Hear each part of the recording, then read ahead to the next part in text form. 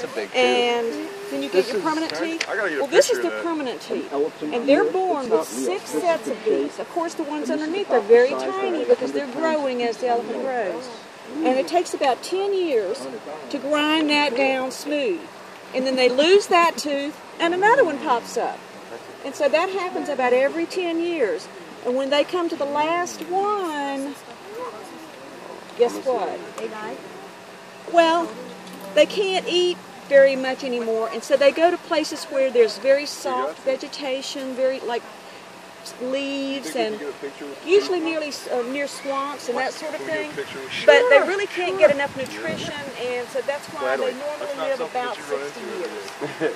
That's a Some replica, about, too. like, Oh, okay. it's It's not real. vegetarian. But nobody- Like, yeah, they can't eat Oh, hard well, food everyone because I they tell don't is have any gonna be real. teeth in. So let me show you. Let me show y'all something.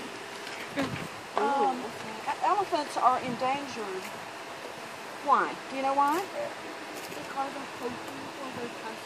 Poaching for their tusks. You are so smart. So, this is a conservation me- message.